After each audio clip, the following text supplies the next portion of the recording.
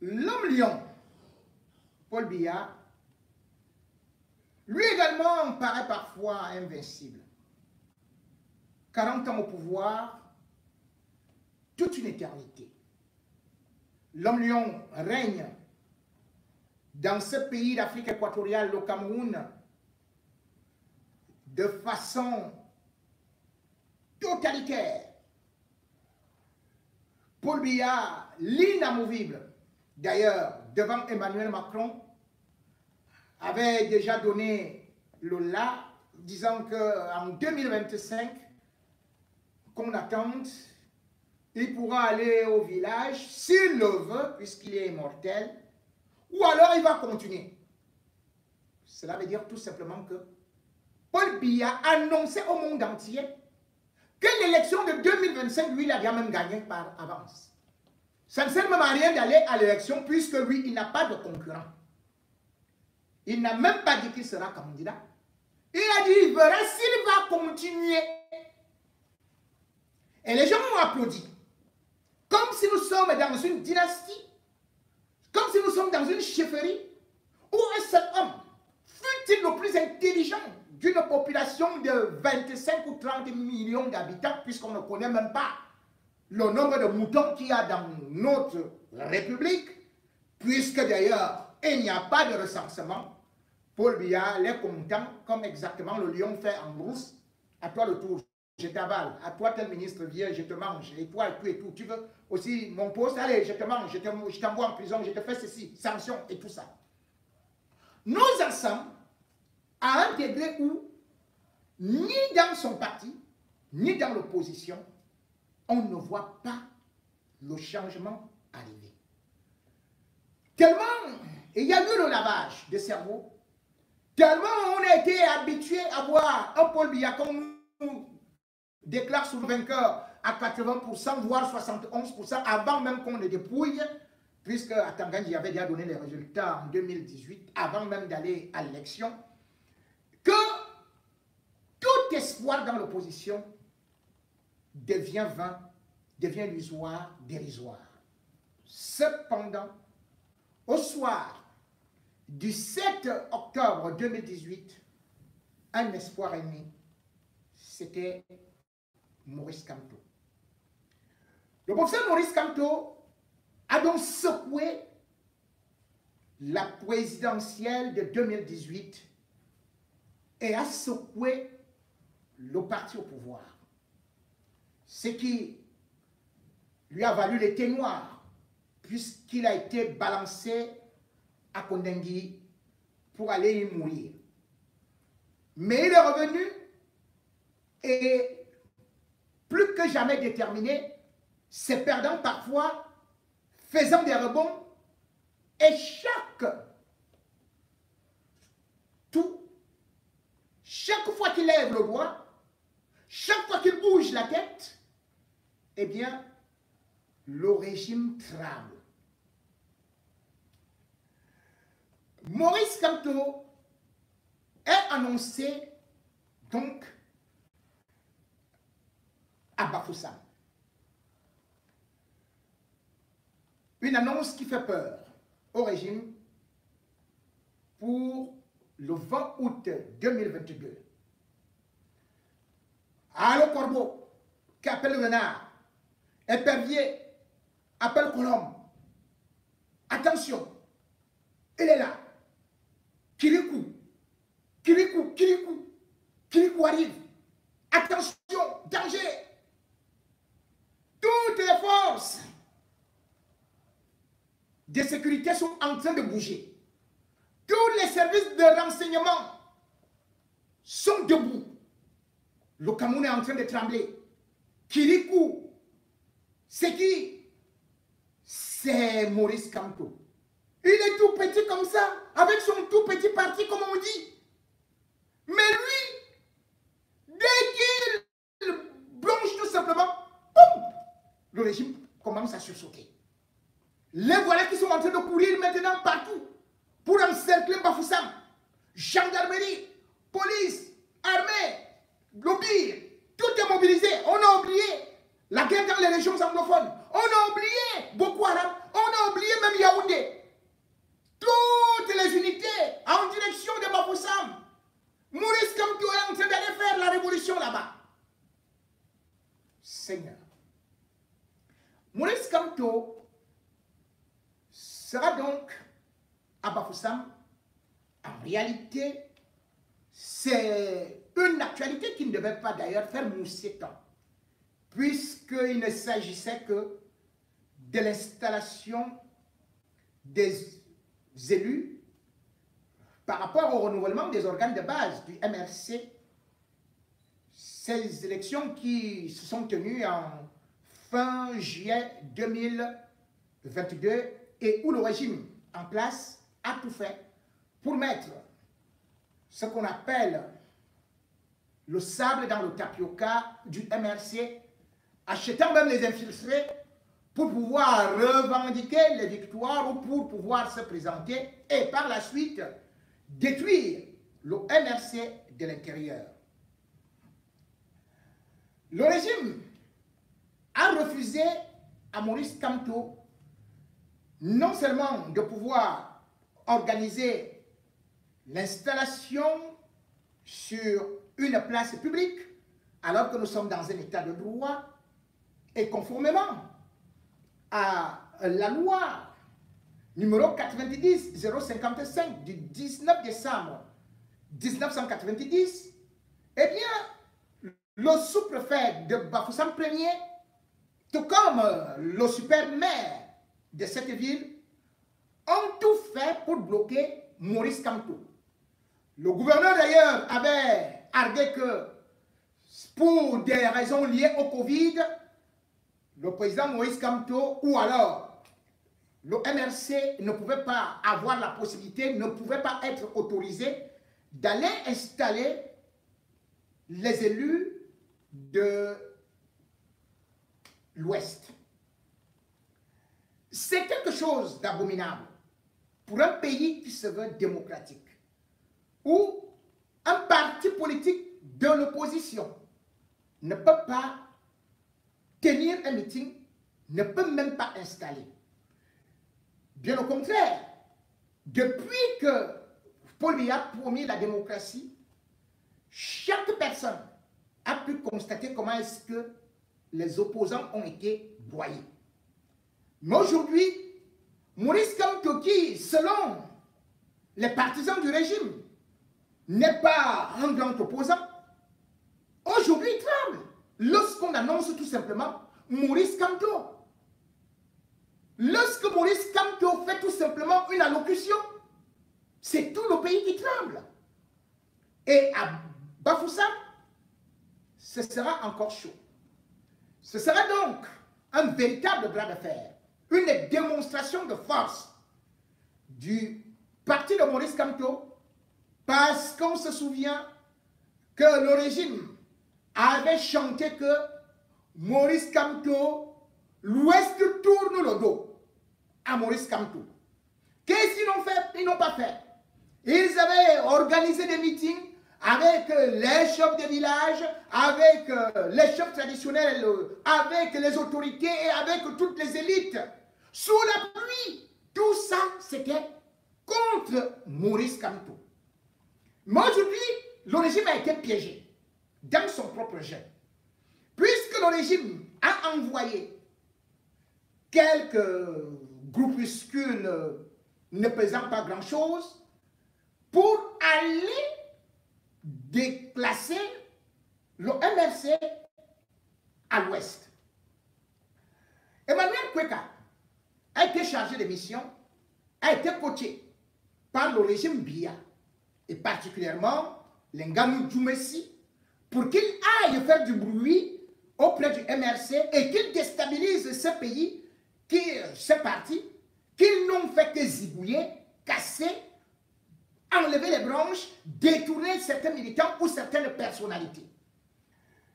Kweka Emmanuel est donc arrivé et il voulait bien entrer dans le MRC, prendre la fédération régionale et avec sa bande de corrompus, détruire le MRC et démissionner en groupe. Ça n'a pas marché. Et Kweka Emmanuel a réussi à obtenir, alors que depuis des années, on refuse qu'un parti politique de l'opposition tiennent un meeting au Cameroun, on a réussi à offrir à ce monsieur-là, avec la bénédiction du maire, Roger Tanfa, qui est du RDPC, qui s'en contente, qui est tout heureux, de donner le 12 août, le 3 août plutôt, tout à ces groupuscules-là du MRC pour insulter Maurice Camteau, annoncer la création de notre parti, dire que Maurice Camteau était, avait installé les frères du village, essayer de jeter l'huile du tribalisme pour encore diaboliser le MRC. Kweka, après avoir saisi la justice en référé, a été déboutée. Mais qu'à cela ne tienne, le sous-préfet lui a donné une autorisation spéciale. Quelqu'un n'a pas de parti politique. Il dit qu'il va créer un parti politique. C'est un ancien militant du MRC, dit-il. Il est en train de déposer la carte. On refuse au MRC de tenir un meeting. Mais à celui-là, on lui accorde l'autorisation de faire un meeting. Et quand maintenant le MRC dit, nous aussi on vient installer, et on veut, puisque nous sommes dans un état de droit, et quand on parle état, que ce soit des places publiques, que ce soit des stades, tout ce que le MRC a revendiqué, eh bien le régime a dit que non. Tout ce que nous pouvons vous autoriser, ce sera d'aller dans 50 mètres carrés pour aller faire votre installation là-bas. Et en même temps, le régime a dit que c'est pour lutter contre les mesures Covid. Donc, vous voulez lutter contre le Covid et vous demandez aux militants de tout un parti d'aller dans 50 mètres carrés. Honteux, confus, et surtout lorsque Maurice Kamto a commencé à bombarder, ils ont donc été obligés, parce que Maurice Kamto avait déjà obtenu, ou bien le MRC avait obtenu, auprès de l'église évangélique euh, du Cameroun, une autorisation de venir se réunir. Eh bien, c'est comme ça donc que le sous-préfet toute honte va signer cette autorisation pour l'installation des membres du bureau pour le 20 août 2022. Avec bien sûr les grandes lignes, les grandes interdictions, interdits d'aller, de, faire des déclarations à l'encontre de la sécurité publique, interdit de critiquer le régime Bia, interdit de faire une déclaration qui pourrait faire que ait interdit, interdit, interdit. Bref, le RDPC veut que Maurice Kamto aille installer son bureau et qu'il dise que Paul Biya est très beau. Ce que Maurice Kamto ne va pas faire.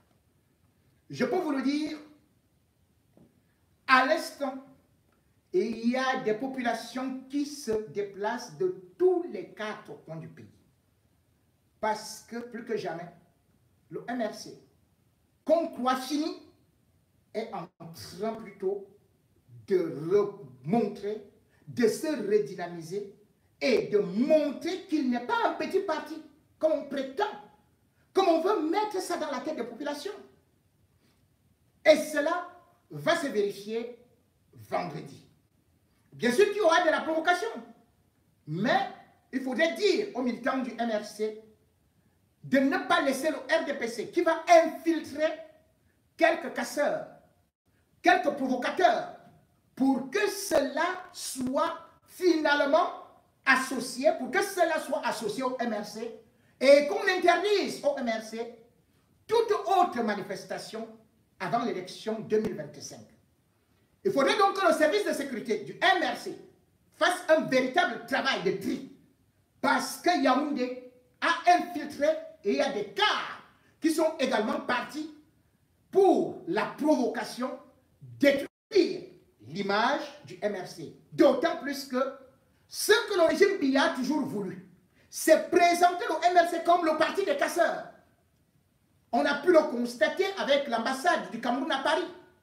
Alors que la justice française a dit que le MRC n'avait rien à voir, les militants du parti au pouvoir, dont les Ounang des consorts, avec bien sûr les fameux Dongo, toujours prêts à l'attaque, les Grégoire Rona, que ceux qui étaient des casseurs de l'ambassade du Cameroun à Paris, ils étaient militants du MRC. Et pourtant, toujours dans la diaspora, ce régime a eu à introduire dans la diaspora, justement, des faux combattants pour venir discréditer les vrais combattants.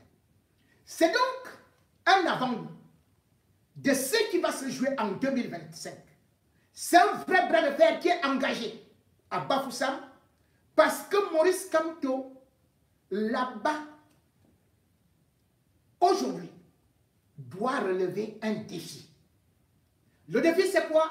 C'est que le régime Biya a toujours cherché de ce côté-là certains Bamileke pour aller contre Maurice Kamto, rogner et montrer son impopularité. Aujourd'hui, donc, on verra si ce régime va réussir encore son coup. Le régime Biya a déjà beaucoup détruit le MRC en injectant des mauvais poisons ou en débauchant. Le MRC a perdu des éléments clés. On peut aujourd'hui dire, par exemple, le professeur Fogui, il se trouve en prison. Bibou en prison. Le régime Biya a eu à détourner même ceux qui s'approchaient de Maurice Kamto. Il les a retournés.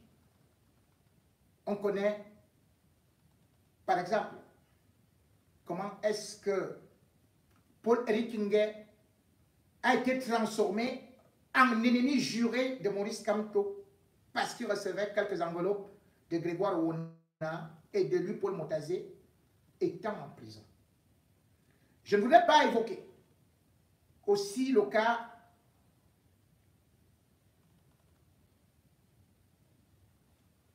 de quelqu'un qui était très intelligent,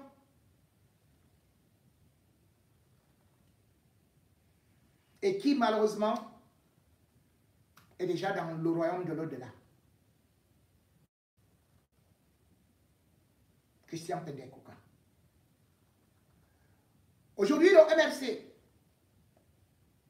avait aussi des éléments comme la femme du peuple. Et puis, on ne sait plus dans quel tango elle danse.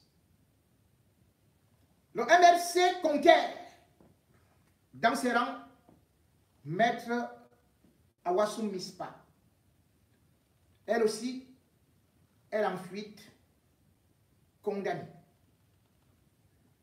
Le MRC a même eu des gens qui avaient cette coloration démentant. L'image que le RDPC voulait coller comme étant un parti tripal.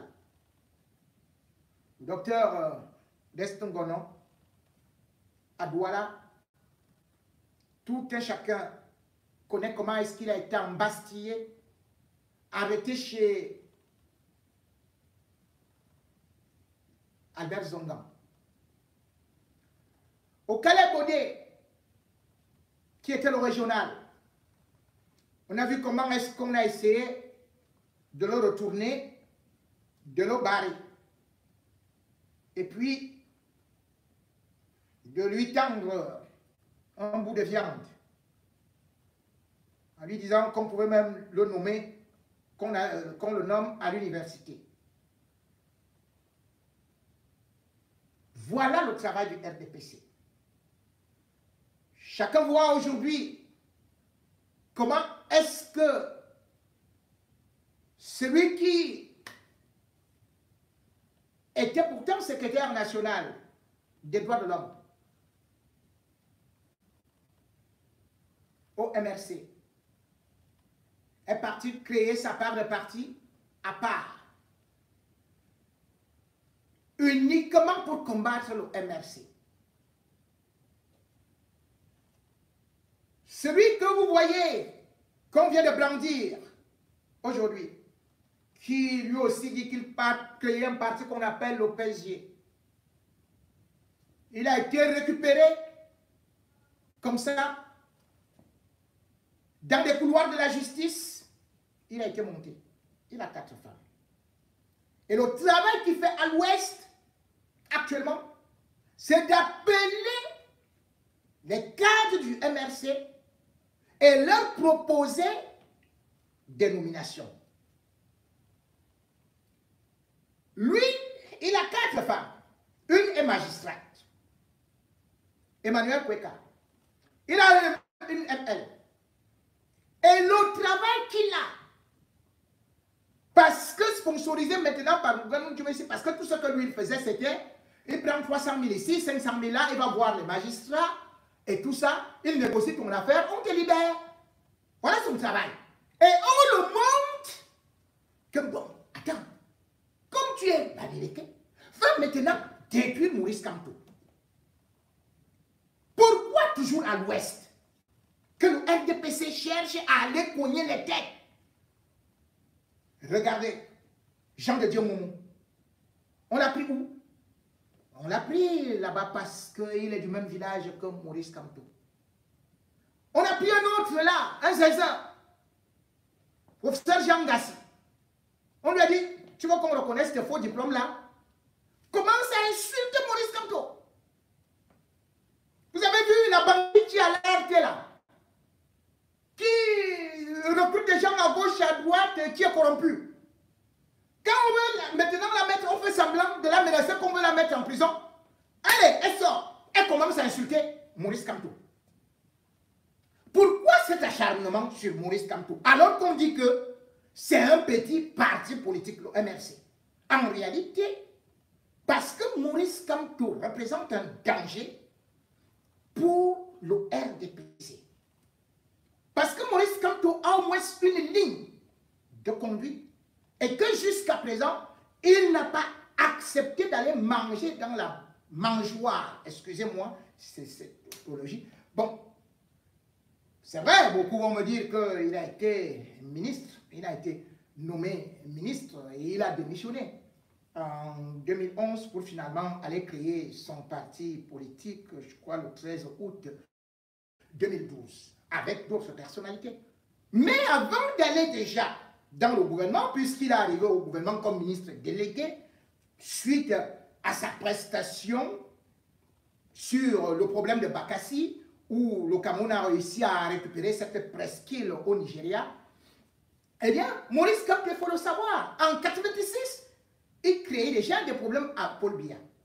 Parce que lorsque Paul Biya sort son livre sur ce qu'il appelait la, euh, revue sociale et quoi là et tout et tout, un livre bizarre, puisqu'il n'a même jamais rien écrit, on lui propose lui aussi, on dit bon voilà, c'est lui qui, a sorti ça. Maurice Kamto avait dit qu'on ne peut pas être dans un État démocratique et on maintient les outils tyranniques, les outils de répression. Eh bien, cela lui a valu une arrestation et, bien évidemment, euh, beaucoup de, menaces à la BMM. La BMM, c'est là où c'est devenu aussi Kondengila. C'est là d'ailleurs il a été enfermé dernièrement. La brigade mobile mixte, c'est comme ça que ça s'appelait. C'est là-bas où on torturait les gens. Donc ce n'est pas aujourd'hui que Maurice Campo se dresse contre Paul Biya il a été habitué et il est dans cette logique. Remarquez que lorsque Paul Bias est déclaré vainqueur à l'élection présidentielle, Maurice Kamto va mettre en place ce qu'on appelle, bien sûr, la campagne de désobéissance, de résistance nationale. C'est là où le slogan Non au hold-up électoral sort. Et ça va faire trembler le régime bien. On a pu constater d'ailleurs que chaque fois que Maurice Kamto a eu à vouloir faire ne serait-ce qu'une manifestation, ce régime est tombé dans les ponts. La preuve, les marches pacifiques du 22 septembre 2020 on a vu comment est-ce que le régime Biya avait paniqué. Au point où quelqu'un qui dit marche pacifique Qu'est-ce qu'ils ont fait? On a vu le ministre de la Communication, René Sadi faire une communication. Comment Rébellion, révolution et tout ça. Insurrection. Et après, Tangani, lui, il avait fait une sortie pour dire que attention, attention, Maurice Kamto est en train d'organiser une insurrection. Ceux qui vont sortir, ils seront condamnés à vie. À vie. Pour une marche pacifique. Maurice Kamto n'a jamais dit allez prendre les armes. Maurice Kamto n'a jamais dit d'épuiser. Maurice Kamto n'a jamais dit brûler. C'est eux qui viennent effrayer le peuple camerounais. Et immédiatement, le ministre de la Défense, Bétia Somon, il sort. Parce que juste Maurice Kamto est à Douala et fait une déclaration que nous, on va marcher. Il fait cette déclaration le 15 décembre. Et tout dit, on s'est réunis toute la nuit. Même Paul n'y en a pas dormi. On a invité tous les états-majors. Soma a sorti une note le 18 septembre, demandant à tous les chefs d'état-major des armées de se mobiliser contre Maurice Kamto, contre les marches du MRC. Les marches, hein, les marches pacifiques. Il a sorti ça. Et il a dit interdit de donner une permission ou d'aller en vacances, en congé, entre le 21 et le 24. Le 24 septembre. Mais qu'est-ce a sorti cette note-là Qui a aussi été envoyée à Galax et Toga. La poste centrale été encerclée. Mais vous dites que c'est un parti, un petit parti. on a sorti les armes qu'on n'a jamais vues. On a d'abord laissé, à l'époque, c'est quel Marshall qui chauffait. Hein. On a laissé, on a abandonné tout, on a tout mis pour Maurice Campo. Pour un petit parti. On a vu comment est-ce que parce qu'il devait avoir les élections régionales du, du, 6 décembre 2020. Ce qui s'est passé. Ils sont attrapés, ils sont attrapés, ils sont encerclés. Tout Santa Barbara. Maurice Camto ne pouvait plus sortir pour faire quoi que ce soit. L'armée, la police se relayait. Tout ça pour un petit parti qui n'est pas représenté à l'Assemblée. Quelqu'un qui n'a pas de maire, quelqu'un qui n'a pas de, député, et vous avez peur de lui alors que vous avez dit qu'il ne vaut rien. Hey, en réalité, aujourd'hui, c'est que les Camerounais ont besoin d'un guide. Les Camerounais ont besoin d'un changement. Et à travers Maurice Campo, beaucoup de Camerounais se ressentent en train d'aller vers la locomotive qui conduira à la, à la gare de la libération. Ce qui est en train de se jouer maintenant, c'est bien sûr le coup d'envoi de l'élection de 2025. Quelles sont les capacités de mobilisation du MRC Après avoir tué certains membres, après avoir acheté, après avoir fait ceci, ils ont été surpris que le 11 août, c'est là qui devait être plutôt les dissidents, ils sont venus à Yaoundé, les militants ou les responsables de Bafoussam, pour dire à Maurice Kamto, pour renouveler leur fidélité et dire que plus que jamais, ils sont solides et ils sont derrière lui. Ce n'est pas un homme qu'on va détourner. Ce n'est pas un responsable qu'on peut détourner. On peut maintenir cela en prison. Mais d'autres qui ont besoin du changement, nettement. Ça ne sert à rien de sortir des mortiers. Ça ne sert à rien de sortir des chars. Ça ne sert à rien de sortir toutes les armées qui vont effrayer. Parce qu'on a vu au Cameroun, on a vu ailleurs comment est-ce que le peuple, quand il se lève, Personne ne peut le contrôler.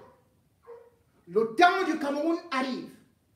Que ceux-là qui croient, qui sont éternels, qui se disent que Paul Biya, le lion, est devenu un mouton. Ou alors c'est un lion qui a vieilli, qui n'a plus de dents. Et qui a bien un fauve qui est quelque part là. Peut-être c'est un renard. Maurice Kamto, qui est en train de venir là. Oui, qu'il sache que le train de l'alternance est en marche. Et qu'il sache qu'on ne peut pas indéfiniment contraindre un peuple, martyriser un peuple, réduire un peuple au silence? Ça n'existe pas.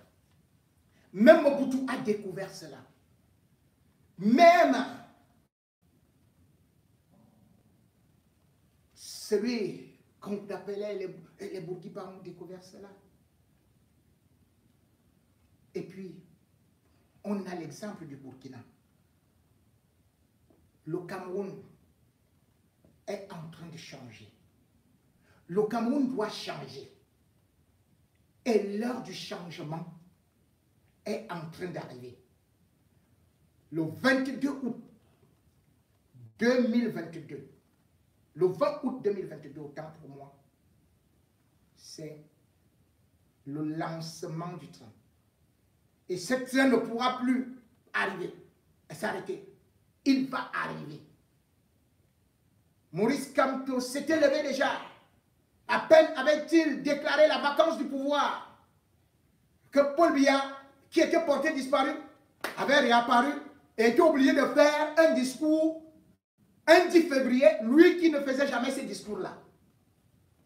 Ou bien c'était le 20 Maurice Kamto, à peine pousse-t-il qu'on voit déjà toute l'artillerie de la sécurité sortir pour maintenant cadenasser Bafoussam. Mais le problème n'est pas seulement Bafoussam. Le problème, c'est le Cameroun qui est en ébullition. Et derrière beaucoup de populations, que ce soit celle de la diaspora, chacun rêve aujourd'hui du changement comme ailleurs.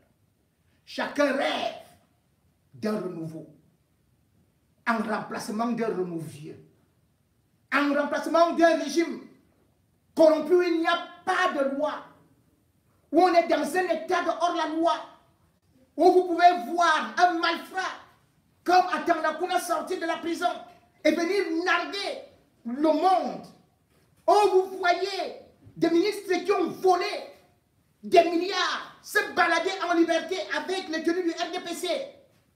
où vous voyez ceux-là qui n'ont rien fait juste parce qu'ils ont marché, c'est eux qui sont en prison. Le cas de Atanakuna. Oui, et on largue quelques petites bombinettes comme ça là pour détourner un peu l'attention. Il est en train de voyager pour aller euh, ou bien en France. Non, cette photo elle est fausse. Il est encore là-bas. Mais ne vous en faites pas. Il est en train de tout faire pour aller récupérer cet argent qu'ils ont déjà tous stocké parce qu'ils préparent l'après-BIA. Mais 2025, même si BIA est là, ou que BIA ne soit pas là, qu'on sache que ce ne sera pas la continuité de ce système-là, même s'ils auront des milliards et des milliards. Même s'ils vont retourner les chefs traditionnels de l'Ouest, ils ne pourront pas détourner toutes les populations du Cameroun. Ils ne pourront pas arrêter le vent. C'est le changement qui est maintenant là. Et une fois de plus, je demande aux militants, aux sympathisants, du MRC d'aller écouter le discours de Maurice Kamto. Il parlera. Oui, ce ne sera pas seulement l'installation. Il parlera. Il motivera ses troupes. Et tenez-vous tranquille, la révolution est en marche.